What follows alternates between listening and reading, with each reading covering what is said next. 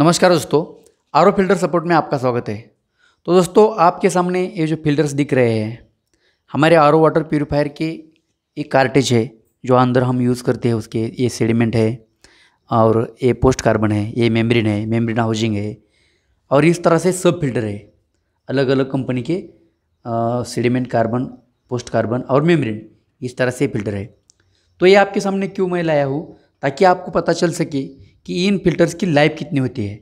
हमें पता नहीं चलता कि आरओ वाटर प्योरीफायर के जो कार्टेज होते हैं वो कब चेंज करे या उसकी लाइफ क्या है।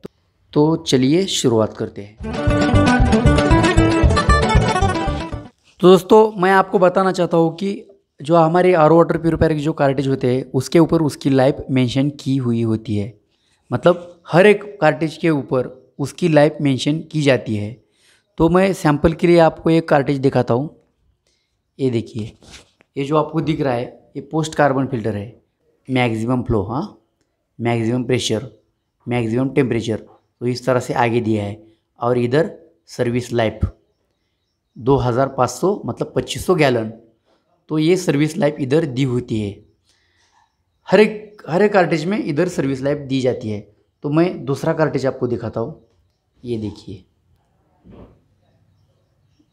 इधर क्या है? पच्चीस सौ गैलन सर्विस लाइफ पच्चीस सौ गैलन तो इस तरह से हर एक कार्टेज के ऊपर उसकी लाइफ दी जाती है। तो पच्चीस सौ गैलन तो आप इस लीटर में कन्वर्ट कर सकते हैं। एक गैलन का होता है थ्री पॉइंट सेवन तो पच्चीस सौ गैलन के लिए आप क्या करिए?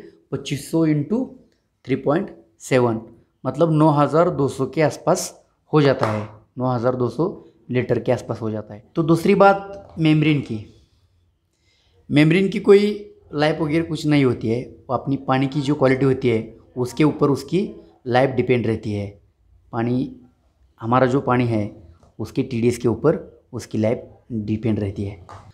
तो दोस्तों, इस तरह से आपको समझ में आया होगा कि आपने वाटर प्योरीफायर के जो कार्टेज होते हैं, उसकी लाइफ कितनी होती है। आपको सिर्फ़ क्या करना है? पच्चीस सौ gallon into three point seven जो भी आएगा आगे, उसकी लाइफ आएगी। तो आज के लिए इतना ही। मिलते हैं अगले वीडियो में। तब तक के लिए थैंक यू।